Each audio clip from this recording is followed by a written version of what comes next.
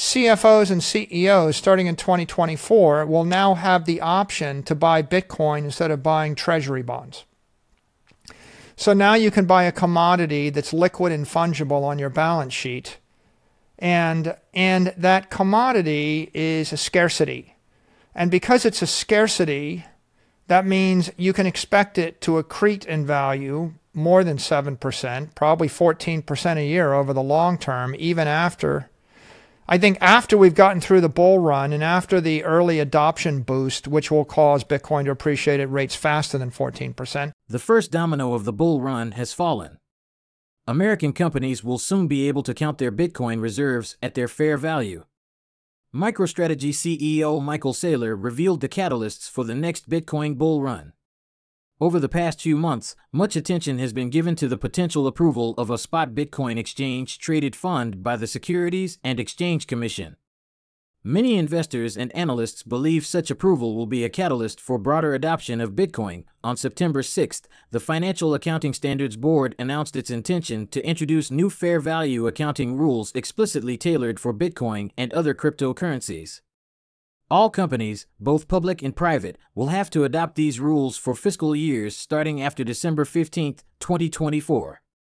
This implies a 2025 adoption for companies that follow the calendar year. Early in this month, Saylor said in his tweet, Fair value accounting is coming to Bitcoin. This upgrade to FASB accounting rules eliminates a major impediment to corporate adoption of Bitcoin as a treasury asset. MicroStrategy owns 152,800 bitcoins as of August 1, 2023. The total purchase price for the bitcoins was $4.53 billion, making an average price of around $29,672 per bitcoin. A report indicates that big tech giant Apple was working on a stock trading app for its devices along with banking institution Goldman Sachs. Across social media platforms, rumors began surfacing about a possible listing of Bitcoin and other cryptocurrencies should the platform ever come to light. During the interview, Saylor mentioned that from 2020 to 2023, it became increasingly clear to the accounting establishment that many mainstream companies wanted to acquire and hold Bitcoin. Now, let's direct our attention towards a few clips from the interview. Between the years 2020 and 2023, uh, it became increasingly clear to the accounting establishment that there are a lot of mainstream companies that wanted to acquire and hold Bitcoin. So, MicroStrategy was uh, the first really big uh, public acquirer of Bitcoin, but but uh, Block acquired Bitcoin, and then all the Bitcoin miners acquired Bitcoin, and then Tesla acquired Bitcoin, and this became a public issue. It was taken up uh, with a lot of community support by FASB. After a very thoughtful process, they came to the conclusion unanimously that they should give Bitcoin fair value accounting treatment rather than indefinite intangible accounting treatment. Uh, the latest, uh, the latest uh, communication on that indicated that they'll make this mandatory for all public uh, reporting companies uh, as of December 15th of next year. So as we go into fiscal years that end after December 15th of 2024, this will be common practice. And between the beginning of 2024 and the end, it'll it'll be optional, I think, for companies to decide whether they wish to adopt it. And the significance of fair value accounting is that you account for Bitcoin similar to the way you would account for a, a portfolio of securities on your balance sheet it kind of works like this. If um, if I buy a billion dollars of Bitcoin and it trades down 50%, then in that period, at the end of the period, you'll value it at what, a, at, in this case, it would be valued at 500 million. You'd be holding 500 million on your balance sheet, and you would have a 500 million dollar investment loss. But you would report the investment loss separately from the operating gain or operating loss of the core business. So now you would see uh, there's an investment with an investment loss, and the fair value at the end of the reporting period is this much 500 million. Now, if you go a year further and you regain that loss and you double it, you would now be showing 1.5 billion dollars worth of investment gains, and you would have two billion dollars on your balance sheet. And the operating losses or gains of the core business would would, would continue, uh, you know, unobstructed or, or unmodified. So now you have two parts of the business. You have the balance sheet part of the business where you have investment losses and investment gains. And you have the P&L or the operating side of the business where you have investment where you have operating losses and operating gains.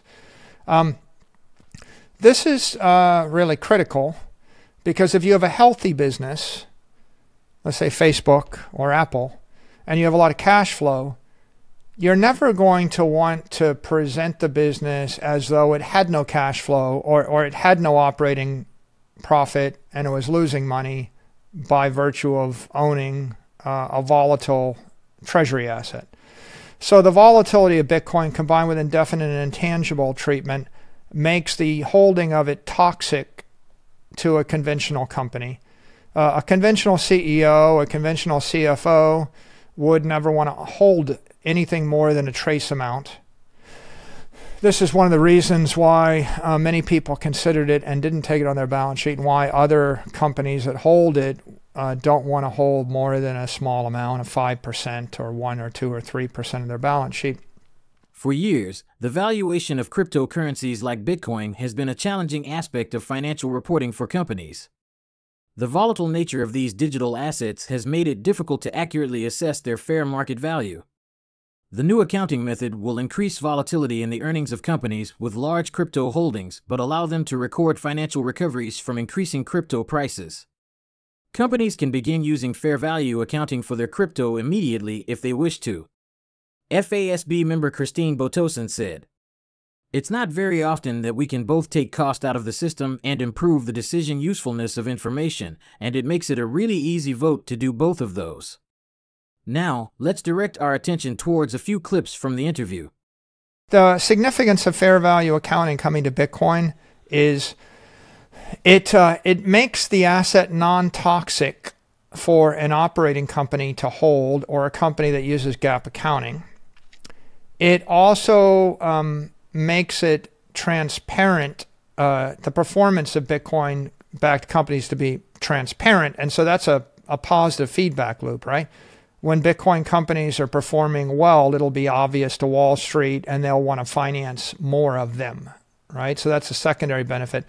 And the third is um, because Bitcoin is a commodity, it's a financial commodity, um, it can be held on the balance sheet of an operating company where um, right now only treasury assets or, or, or sovereign debt type assets can be held on that balance sheet uh, as a as a treasury uh, strategy. So before before Bitcoin, there really wasn't any good fungible commodity that I might hold on the balance sheet. My choice was uh, securities or property, but I can't really hold property on my balance sheet if I'm a corporation because it's not liquid.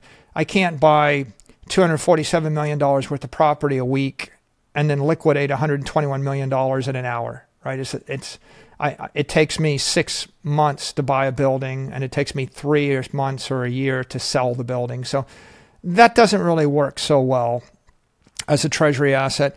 And then uh, packages of securities are fungible and they're liquid, but securities are discriminated against by the regulators. And and if an operating company holds more than 40% of its liquid assets in securities, it's deemed as an SEC 40 reporting company or a financial company.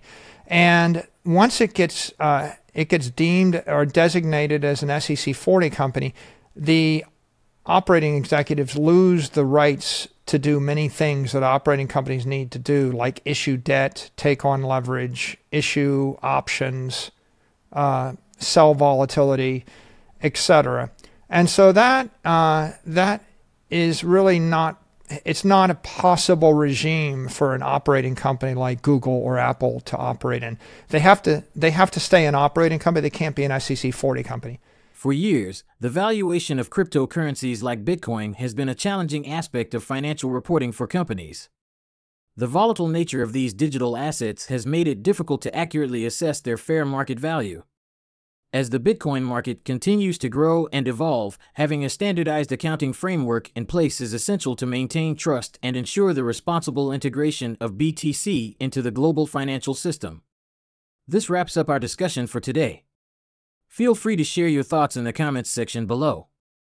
If you found this information valuable, please give it a thumbs up and consider subscribing to our channel to stay informed with the latest news and videos. Thanks for joining us.